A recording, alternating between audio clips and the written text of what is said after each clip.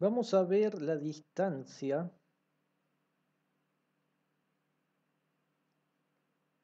entre vectores. Esto lo vamos a hacer usando la definición de norma, que ya lo hemos visto antes, si nos vamos para atrás, norma de un vector, que era así. Entonces, aprovechando eso, vamos a definir, entonces tenemos U, vector U es, supongamos A1, A2, etcétera, hasta el último que será AN, ¿no? Estamos en Rn. B tendrá coordenadas B1, B2, todas hasta Bn, ¿no? Recordemos que estamos usando esto para decir que están ambos en Rn, n dimensional.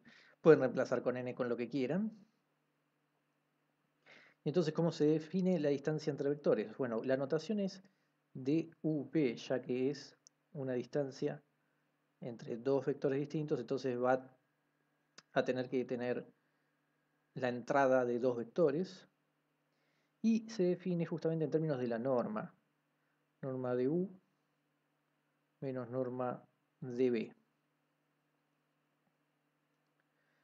Si usamos la definición, entonces podemos escribir esto de la siguiente forma, lo voy a poner acá abajo.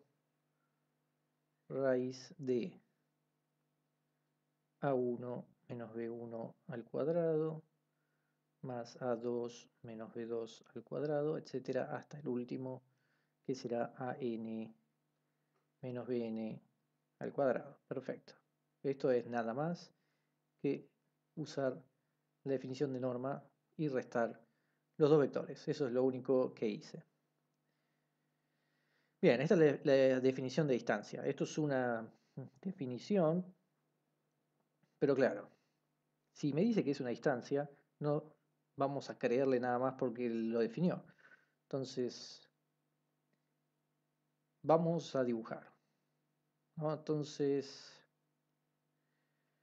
tomemos, a ver, ¿qué ejemplo podemos tomar? Bueno, tomemos como siempre U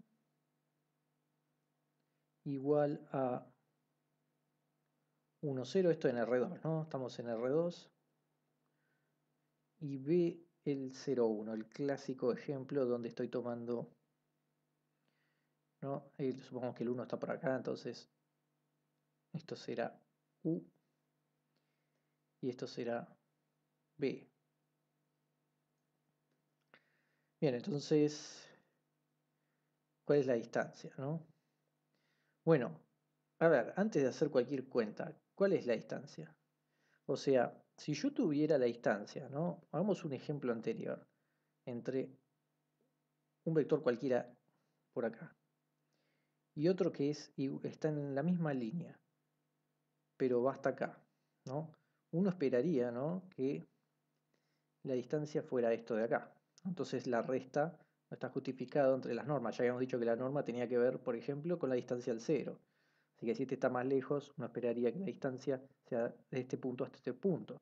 Por lo tanto, volviendo a estos dos de acá, uno esperaría que sea esta distancia entre este punto y efectivamente es lo que va a hacer porque justamente recuerden qué significaba la resta eh, de vectores, ¿no? nos daba el del medio y si hacemos la cuenta, hagámosla con esto, ¿cuál es la distancia entre este específico UB bueno, es justamente la raíz de A1 menos B1, ¿no? Esto de acá.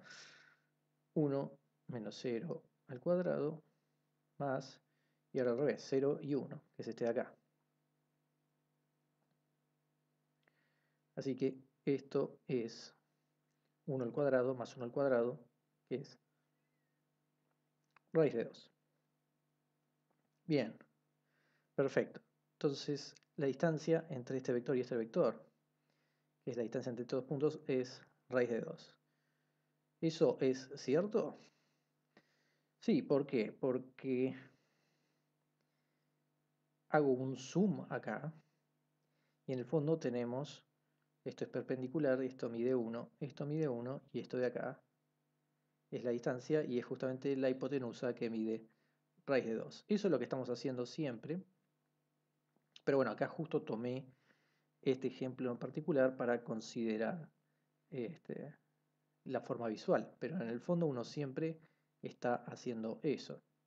Así que esto que uno hace acá es llevar a este proceso, pero para cualquier dos que agarres. ¿no? Por supuesto, si están en la misma línea, simplemente se van a restar los coeficientes eh, de modo que me quede esta resta. ¿no?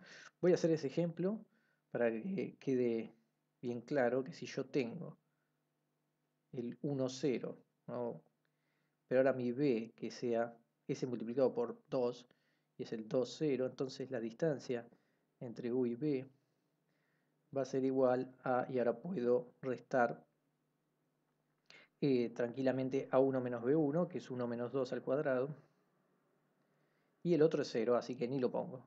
Por lo tanto, esto termina siendo eh, es, 1 eh, menos 2, menos 1 al cuadrado, 1 raíz de 1, esto es 1.